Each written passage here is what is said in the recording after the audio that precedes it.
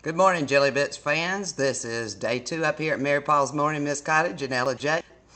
Uh, if you haven't figured out by now, the prize for the JillyBits writing contest, which we're going to start soon, there will be two grand prizes. There will be four days, three nights up here in the North Georgia mountains at our family home of Mary Paul's. Now, we don't rent this out, so it's not open to the public, only open to friends and family of Mary Paul's. So if you win this contest, I might as well go ahead and read you the rules of the house, which if you were born in the South, you're going to recognize these rules, and they're pretty good for life in general. Now, they are provided by the four children of Mary Paul and Tillman East Cell from Macon, Georgia.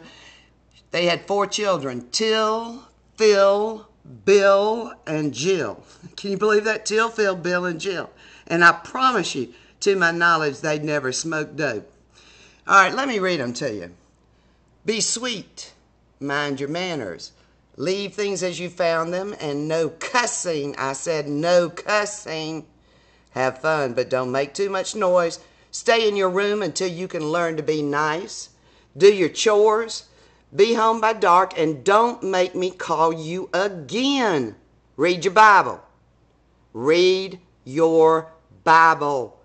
Cut off the lights when you leave the room. Fear God, then fear me, for I know what you're up to. Let me know where you are. Always carry mad money to get you home, and I mean mad money. Call me if you need me. Don't try to grow up so fast. One day you'll understand. Remember those less fortunate.